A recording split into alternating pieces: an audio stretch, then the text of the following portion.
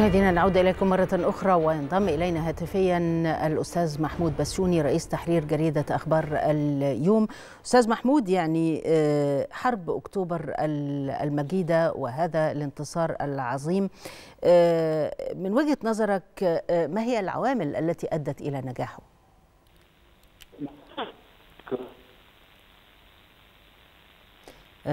أكرر عليك السؤال مرة أخرى. يعني أتحدث عن نصر أكتوبر المجيد والعوامل التي أدت إلى نجاحه من وجهة نظرك أستاذ محمود بسيوني. سنحاول الاتصال مرة أخرى. مشاهدينا يعني أشارت شهادات لضباط وقيادات إسرائيلية إلى أن هناك فوضى تامة في الجيش الإسرائيلي بعد بدء حرب أكتوبر. وصف ضباط إسرائيليون الدبابات المصرية المتجهة أمامهم بالتسونامي مؤكدين أن ما شاهدوه كان أشبه بجحيم حقيقي. نتابع.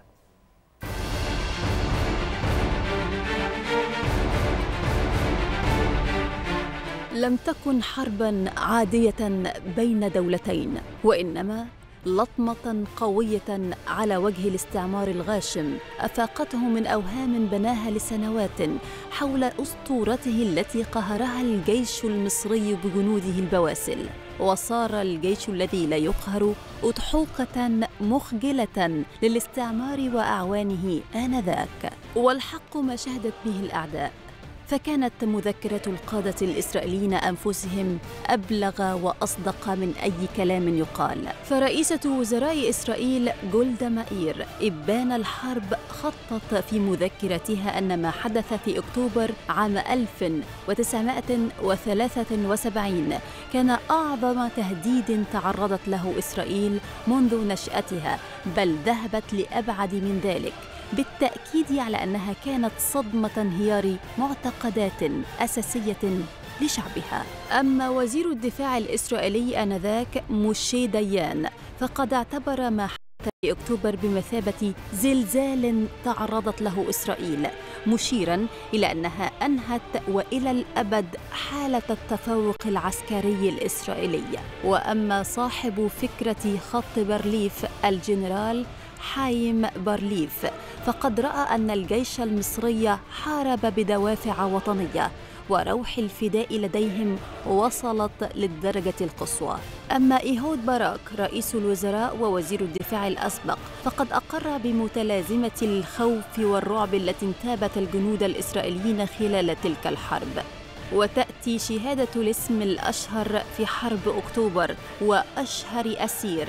عساف يجوري قائد اللواء 190 مدرع الذي دمر بأكمله على يد جنودنا البواسل. فكان الذهول من حجم الخسائر التي رآها في صفوف جنوده هو المسيطر على شهادته ليطرح تساؤلاته عن مآلات الجيش الذي لا يقهر كما كانوا.